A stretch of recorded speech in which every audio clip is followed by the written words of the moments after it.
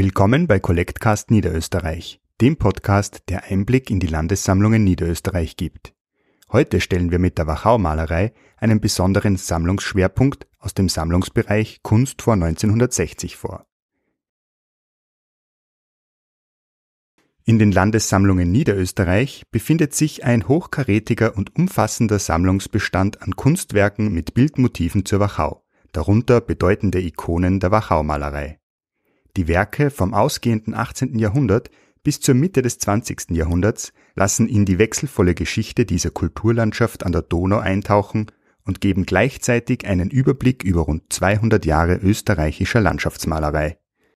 Kaum eine Landschaft in Österreich wurde in der Literatur so oft besungen und in künstlerischen Darstellungen so vielfältig festgehalten wie das Donautal der Wachau.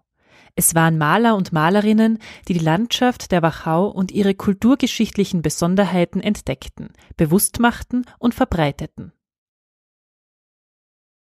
Zu den bedeutendsten frühen Schilderern der landschaftlichen Schönheiten der Wachau zählten Johann Josef Schindler, Thomas Ender sowie Jakob und Rudolf Alt.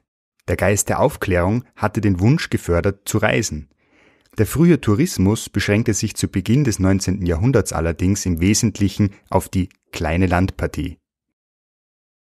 Die Einrichtung der Dampfschifffahrt zwischen Wien und Linz führte ab 1837 zu einer beträchtlichen Steigerung des Personenverkehrs. Wie anhand der zahlreich entstandenen Landschaftsdarstellungen aus dieser Zeit ersichtlich ist, dürften gerade auch Künstler die neue Möglichkeit für Ausflüge in die Wachau in Anspruch genommen haben in den frühen 1870er Jahren geriet das Donautal erneut in den Fokus der Künstlerschaft.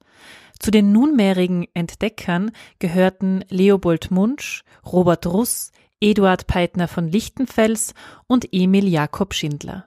Lichtenfels, Professor für Landschaftsmalerei an der Wiener Akademie, führte erstmals 1872 seine Schüler Hugo Charlemont, Hugo Darnaud, Adolf Ditscheiner und Karl Eduard Onken hierher, um sommerliche Malstudien zu betreiben. 1888 bis 1891 folgten weitere gemeinschaftliche akademische Sommerreisen in die Wachau. Unter den Teilnehmern befanden sich unter anderem Ernst Graner, Heinrich Tomek und Hans Wild. 1889 schloss sich auch Johann Nepomuk Geller an. Diese als legendär geltenden Exkursionen können aus heutiger Sicht als eigentliche Geburtsstunde der Wachaumalerei bezeichnet werden. Nach Jahrzehnten der Hochblüte des alpinen Landschaftsbildes waren die Maler auf der Suche nach neuen künstlerischen Herausforderungen. Die Wachau lockte mit landschaftlich reizvollen Partien und erhaltenen mittelalterlichen Ortsbildern.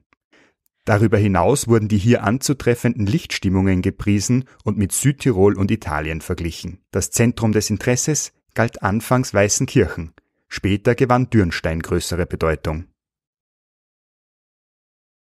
Auch Maximilian Supancic kam 1888 mit der Lichtenfels Schule nach Dürnstein.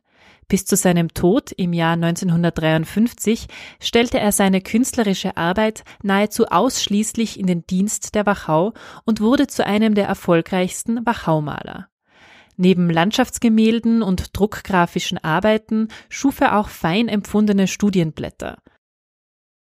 Von denkmalpflegerischen Intentionen geleitet, ging es ihm um die Dokumentation regionaltypischer Bauformen und Besonderheiten. Er verzeichnete aber nicht nur all das, was er an der Gegend liebte, sondern wies auch auf Missstände hin, die sein Wachaubild beeinträchtigten. Um 1900 traten auch Fotografen wie etwa Bruno Reifenstein, Konrad Heller oder Martin Gerlach senior auf den Plan, die sich mit ihren in Bildbänden reproduzierten Wachau-Motiven einen Namen machten. Ihre Aufnahmen wurden in Ausstellungen präsentiert und als Malervorlage in den Handel gebracht. Die Fotografie ersetzte vielfach das Skizzenbuch. Sogar renommierte Künstler wie Wilhelm Gause, Stefan Simoni Emil Strecker, Maximilian Supancic, Paul Umbereit und Rudolf Weber zogen nachweislich Fotografien als Bildvorlagen heran. Mit Beginn des 20. Jahrhunderts war die Wachau längst kein Geheimtipp mehr. Sie wurde von der Künstlerschaft regelrecht überrannt. Viele siedelten sich hier auch an.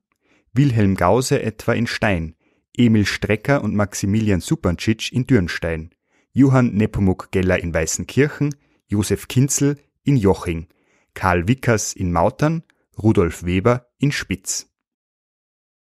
Mit der Gründung eines Aktionskomitees zur wirtschaftlichen Hebung der Wachau im Jahr 1904 sollte die Erschließung der Wachau für den Fremdenverkehr vorangetrieben werden. Das Prestigeobjekt des Landes Niederösterreich war der Bau der Donauuferbahn von Krems nach Grein. Noch vor Inbetriebnahme wurde sie auf der Internationalen Verkehrsausstellung in Mailand im Jahr 1906 durch ein gigantisches Triptychon von Anton Hlawacek beworben. Vor allem die Künstler und Künstlerinnen waren gefragt, um das Bild der Wachau weiterzutragen. In freier Tätigkeit oder im Bereich der Gebrauchsgrafik durch Plakate, künstlerische Postkarten und Buchillustrationen. Sie zeigten aber auch auf, wenn es darum ging, die Wachau zu schützen während die älteren Maler vielfach mit rückwärts gewandtem, wehmütigem Blick ihr in jungen Jahren gewonnenes Bild der Wachau hochhielten, reifte eine jüngere Generation heran, der die Schönheit des Donautals im Wesentlichen ein Vehikel war, um künstlerische Probleme zu bewältigen. 1913 schuf Anton Feistauer gleich mehrere Ansichten von Dürnstein. Im selben Jahr malte Egon Schiele die Vedute von Stein an der Donau drei Jahre später die Burgruine Weiteneck. Mit Josef Dobrowski, Felix Albrecht Harter, Oskar Laske, Sergius Pauser und Otto Rudolf Schatz kamen bald weitere Meister der österreichischen Zwischenkriegsmoderne in die Wachau. Es waren die Künstler und Künstlerinnen, die durch ihre Beschäftigung mit der Landschaft und den kulturgeschichtlichen Besonderheiten der Wachau einen wichtigen Beitrag zur Entdeckung und zur Bewahrung dieses einzigartigen niederösterreichischen Landschaftsraums leisteten. Dies schuf die Grundlage dafür, dass das Donautal der Wachau zum UNESCO-Welterbe erklärt wurde und wir 2020 dessen 20-Jahr-Jubiläum feiern konnten